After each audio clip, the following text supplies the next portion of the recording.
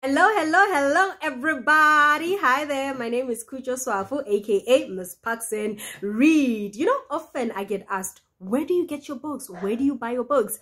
And this is such a difficult question for me to answer because, like, people are hoping for somewhere.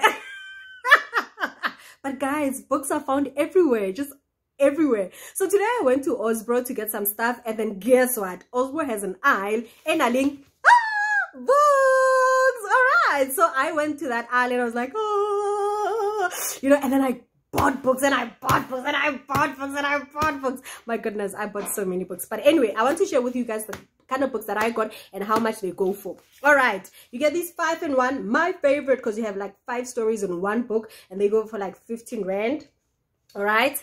And then you have these ones it's just one story. They also go for like 15 rand so these are the kind of like lengthy stories. All right? Whereas here kitty short story. Okay?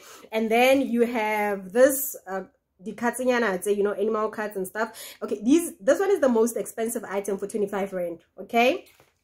And then you have these books. All right? For sorry for like 10 rand okay? And then you have if you have a little bambino that you're trying to get into reading you can have this number um, books for 13 rand and the alphabet books for 13 rand. So go out there and get your books guys.